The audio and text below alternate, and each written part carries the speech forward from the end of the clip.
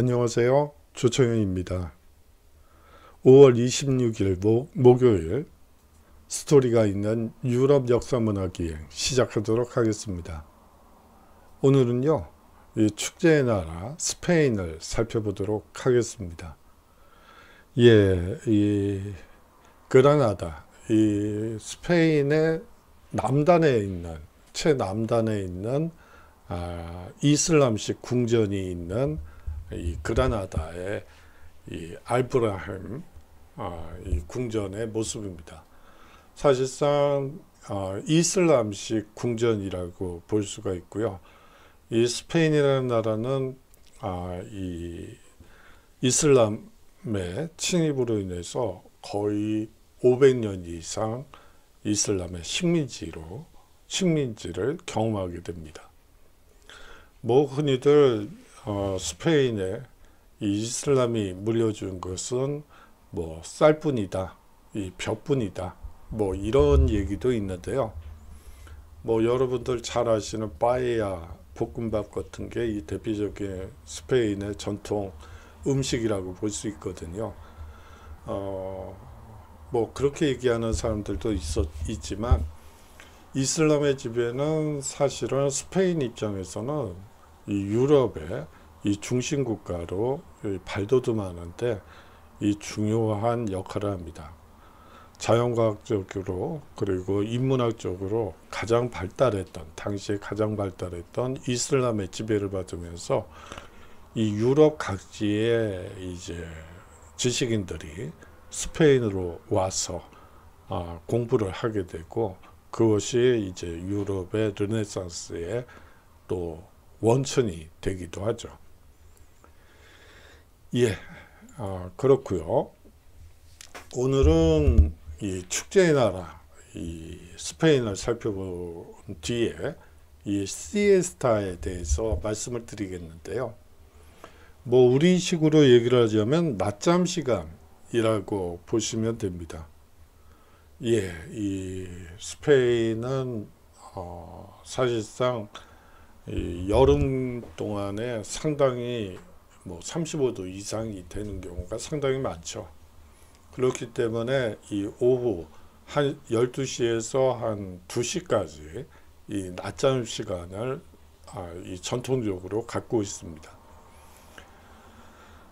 뭐 지금도 어 많이 사라지기는 했지만 어, 이 상점이나 뭐 은행 같은 경우에 이 시에스타가 지켜지는 경우가 많죠.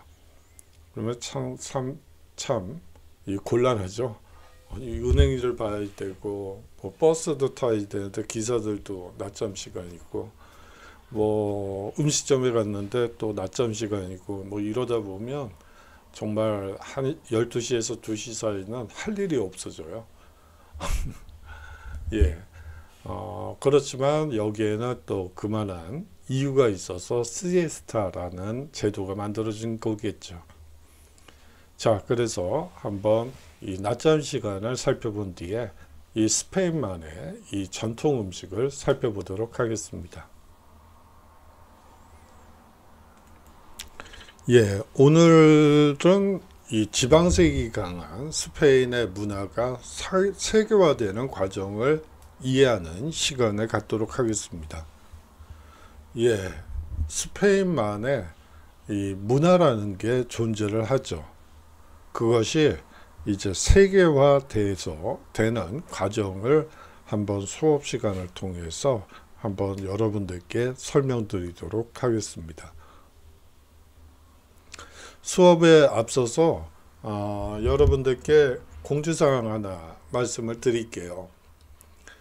이 먼저 이 주차 과제는 어 계속 말씀을 드리지만 생각 노트를 에 적은 것을 이 사진을 찍어서 혹은 스캔을 해서 제출해 주시면 되고요.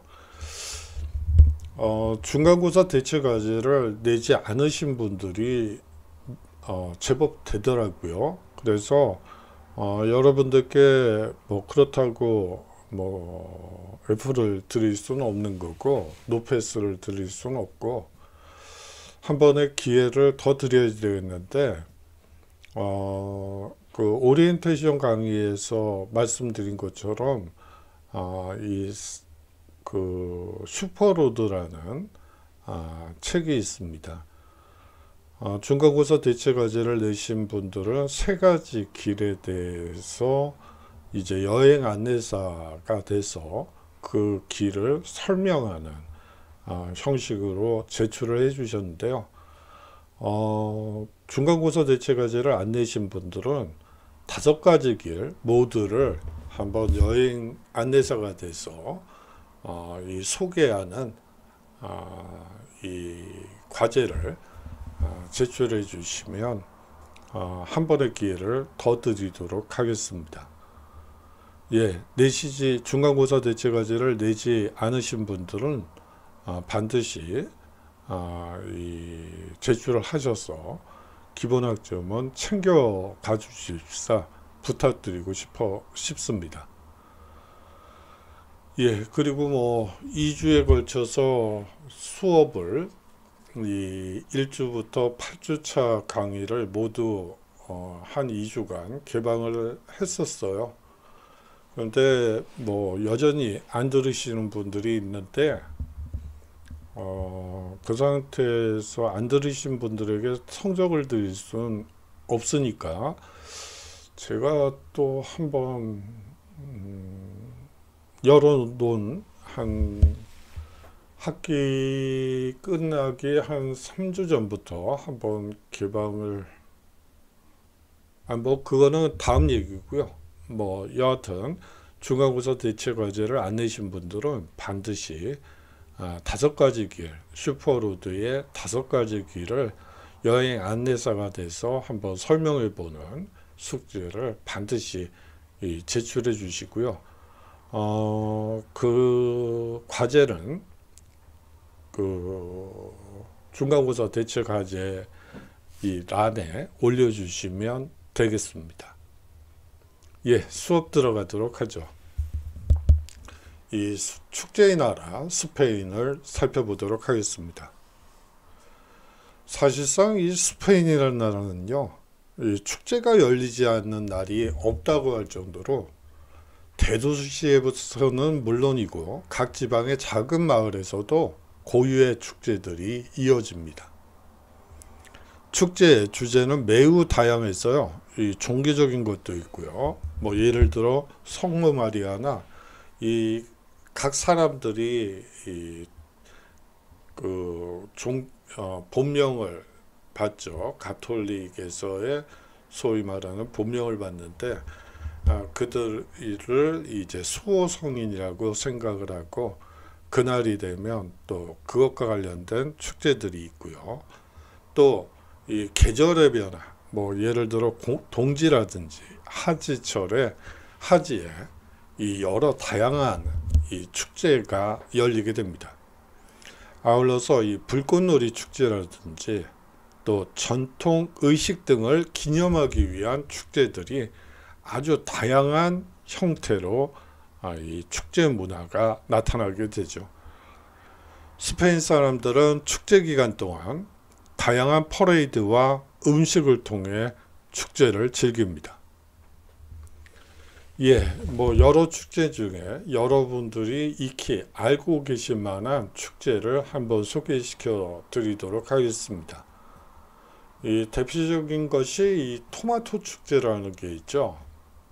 8월 마지막 수요일에 이 발렌시아 지방의 분율에서 열리는 이 토마토 축제는 60년의 전통을 자랑하고 있습니다. 1940년대 중반 마을 광장에서 이 토마토를 던지며 싸움을 한 데서 유래했다고 하고요. 현재는 약 120톤의 토마토를 거리, 거리에 쏟아놓고 마을 주민과 관광객들이 토마토를 서로에게 던지며 즐기는 축제로 발전되었습니다. 예, 뭐 사실상 뭐 우리나라에서도 이런 류의 축제들이 많이 있죠. 이 토마토 축제와 유사한 형식이라고 한다면 뭐 대천에서 하는 이 그걸 뭐라 그러죠? 아 진흙 축제? 아 그 갯벌을 활용한 아, 그런 축제도 이와 유사한 축제라고 볼 수가 있죠. 이 서양 사람들 그런 걸 좋아하더라고요. 싸, 이 몸싸움 하는 거, 그리고 아, 이런 아, 토마토를 던지면서 서로 이 웃고 즐기는 아, 그런 거를 좋아하는 것 같습니다. 예, 서로가 서로를 향해서 이 토마토를 던지는 모습이죠. 이 또 하나 중요한 축제는 역시 종교 축제인 부활절 축제라고 볼 수가 있는데요. 이 부활절 축제는 스페인에서 매우 중요한 축제로 각 지역마다 다양한 행렬들을 볼 수 있습니다. 퍼레이드가 펼쳐지죠. 예, 이 가톨릭 국가답게 어, 이 부활절 축제는 아주 중요한 축제로 자리 잡고 있죠. 뭐 그뿐만이 아니고 뭐 이 서유럽권의 대부분의 이 가톨릭 그리고 개신교 아, 쪽에서는 이 부활절 축제를 아주 성대하게 개최하고 있죠. 수사들이 성모 마리아, 예수, 순환 장면 조각성 등을 들고 거리를 걸으며 성경에 등장하는 인물의 옷을 입거나 원뿔 모양 모자를 쓴 참회자의 모습으로 행진을 하기도 합니다. 또한 수백 년 전에 속죄의식을 본따 자신의 몸에 채찍질을 하는 연극을 하기도 하죠. 예, 원뿔 모양 모자를 쓴 참회자들이 있어요. 뭐 흰색 원뿔 모양, 뭐 여러 가지 색깔의 이 원뿔 모양 모자를 쓴 참여자 이 수사들을 옷을 입은 이 사람들이 있는데 이 사람들은 자신의 몸에 채찍질을 하는 아, 이 연극을 하는데 이거는 사실은 과거에는 아, 이 참여자들이 스스로 죄를 뉘우치면서 자신의 몸에 왜 그랬을까 하면서 채찍질을 했다고 해요. 이제 거기서 나온 거라고 여러분들이 보시면 됩니다. 그래요. 자기 몸을 학대하는 건데 뭐 그런 이 분위기가 아, 있다는 거 어, 그렇게 이해하시면 될 것 같습니다. 예, 이 부활절 축제 때 이 행렬들의 퍼레이드의 모습 중에서 인상적인 거 하나 가지고 와봤습니다. 이 다음으로 산 페르민 축제를 살펴보도록 하죠. 이 7월 6일에서 14일까지 팜플로나에서 열리는 산 페르민 축제는요. 이 복음을 전파하러 프랑스에 갔다 참수당한 기독교의 성인 성 페르민을 기리기 위한 것으로 소를 모는 행사가 중심이 됩니다. 이 지방 청년들은 전통 복장인 흰 셔츠에 붉은 띠 장식을 하고 투에 참가할 소를 유인해 투장까지 뛰어가는데 이 투용 소를 다루기 때문에 해마다 여러 부상자가 생기는 위험한 행사이기도 합니다. 이 축제에는 소머리 행사 외에도 성페르민상의 행렬과 이 거인 인형이 손방망이로 구경꾼들을 때리는 행렬 등이 이어지죠. 예. 불의 축제 파야스에 대해서 살펴보도록 하겠습니다. 예, 뭐 사실은 이 부분에서 투에 대해서 얘기를 할까 하다가 제가 뭐 좀 뒤에서 얘기를 하나 하다가 좀 머뭇머뭇 거렸어요. 이 투에 관해서는 사실은 아, 이한 우리 시구 아니 그한 6, 70, 80대와 20, 30대가 스페인의 20, 30대가 이 사실상 투어를 어떻게 볼 것이냐를 두고 세대 갈등이 가장 심한 아, 부분이죠. 왜냐하면 6, 70, 80대들은 사실상 전통적인 것이기 때문에 뭐, 어, 이 투어 행사를 해야지 된다고 보는 입장이고요. 거기에 비해서 20, 스페인의 20, 30대들은 아, 이 동물 학대와 관련된 부분이기 때문에 사실상 이 부분에 대해서는 아주 냉혹할 정도로 이 투우 경기를 해서는 안 된다고 보는 입장입니다. 예, 뭐 사실 세대 간에 아, 이 보는 입장이 약간씩 다르기 때문에 아, 요 근래에는 투우 경기가 그렇게 활성화되진 않고 있죠. 예, 뭐 그 정도로 말씀을 드리는 게 맞, 맞을 것 같습니다. 예, 발렌시아에서 열리는 불, 불의 축제를 한번 보도록 하죠. 이 발렌시아와 무르시아 지역의 축제로요. 이 3월 15일경 3, 4층 건물 높이의 이 거대한 조잉이 모형을 광장에 세우고 3월 19일 성 요셉의 날 밤에 이것을 불태우는 축제입니다. 이 축제는 쓸데없는 물건이나 실패작 그리고 옛 것을 태워 나쁜 기운을 없애고 새로 것을 향한 길을 튼다는 의미로 시작되었다고 볼 수가 있죠. 예, 이것은 종교적인 축제라기보다는 전통적인 어떻게 보면 무속적인 아, 이 축제라고 볼 수가 있습니다. 예, 다음으로 어, 아까 말씀드렸던 이 낮잠, 즉 시에스타에 대해서 한번 살펴보도록 하죠. 낮 동안에 잠시 일터에서 돌아와 이 휴식을 취하는 스페인의 고유 간습이라고 볼 수가 있습니다. 이 상점과 박물관조차 이 시간에는 이 낮잠 시간에는 문을 닫고요. 거의 대부분의 사업장이 오후 중 두세 시간 정도 이 문을 닫게 되죠.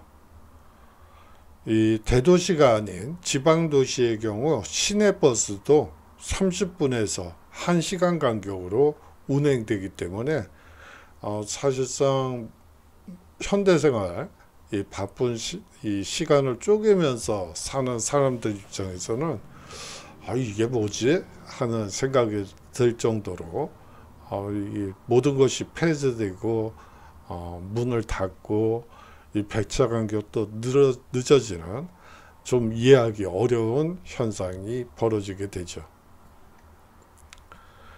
이 낮 기온이 세비야의 7월 한낮의 온도는요.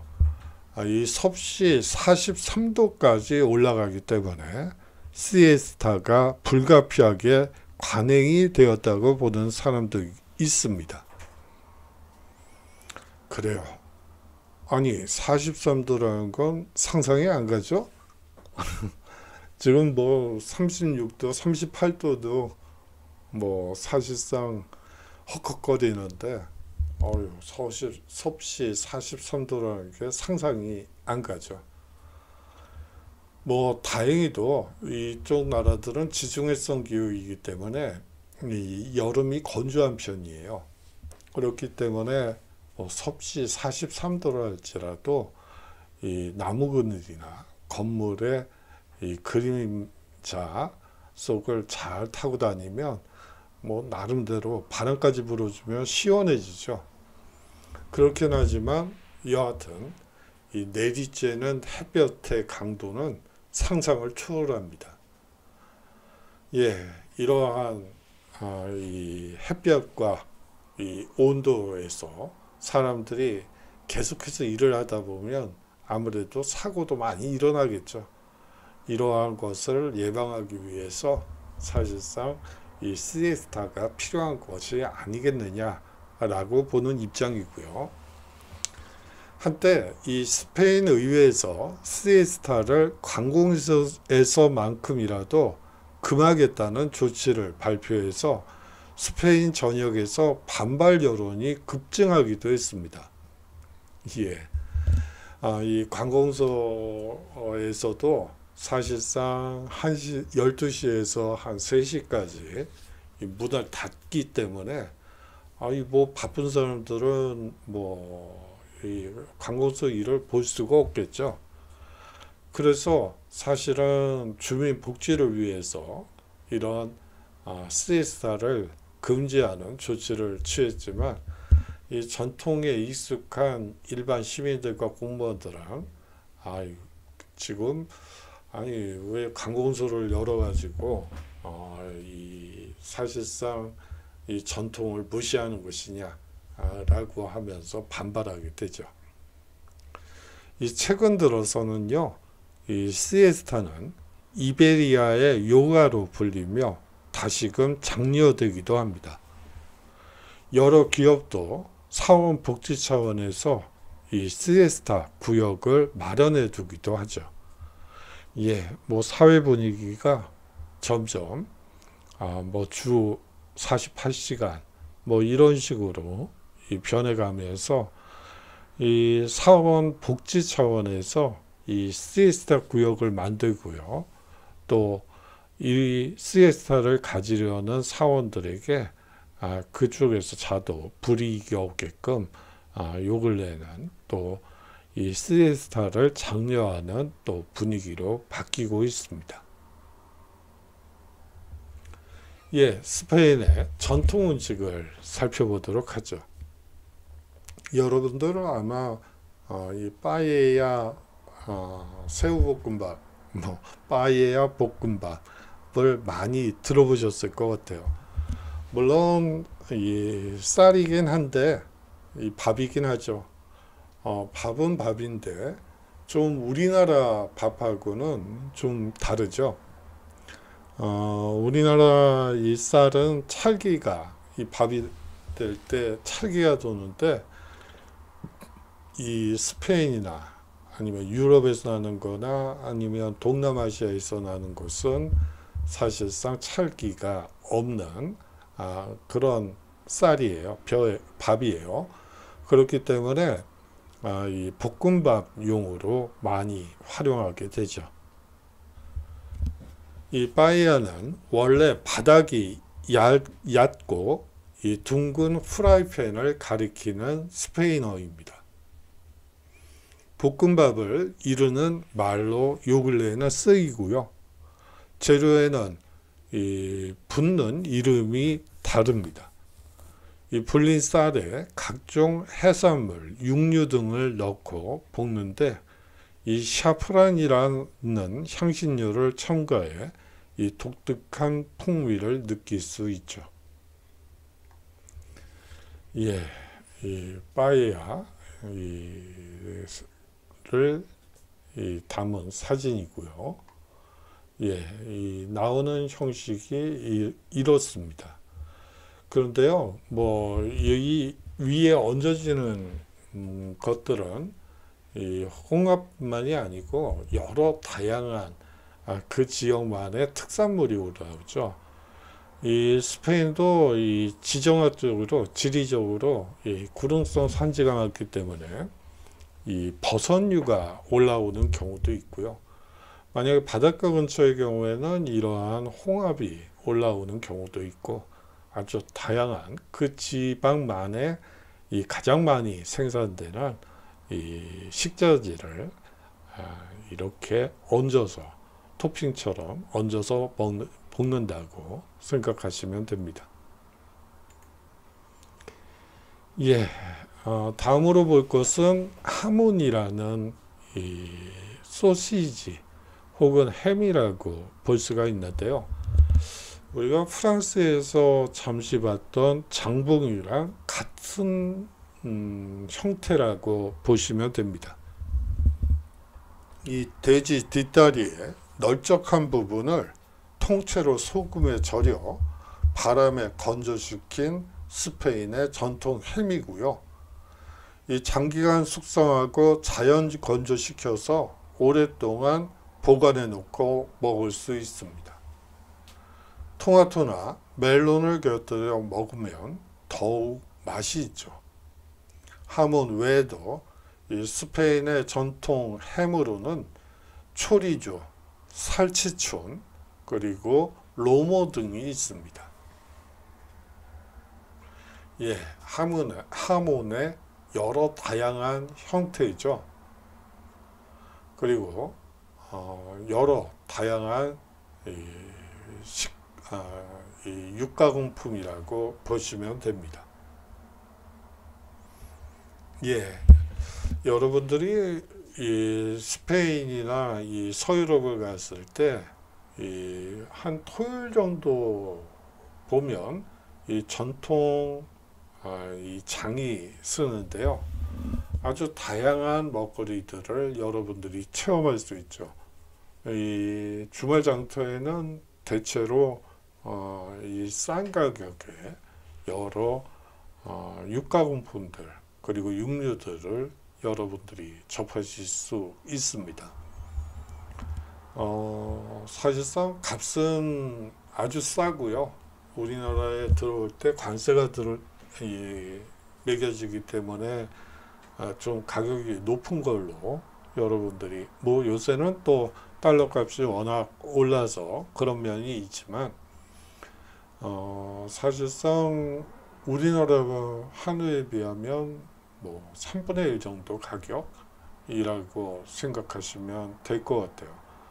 뭐 장, 장 같은 데서 어, 이 스테이크 감으로 아주 그냥 큼지막한 걸 얼마든지 어, 한 지금은 모르겠네요. 인플레이션 때문에 어떨지 모르겠지만 뭐 제가 있을 때는 뭐 한 만 원이면 어, 이 우리나라 돈으로 한 만 원 정도 가치로 사게 되면 아주 정말 한 가족이 배불리 이 고기로 배, 배를 채울 수 있을 정도로 아주 큼지막한 걸 살 수 있죠.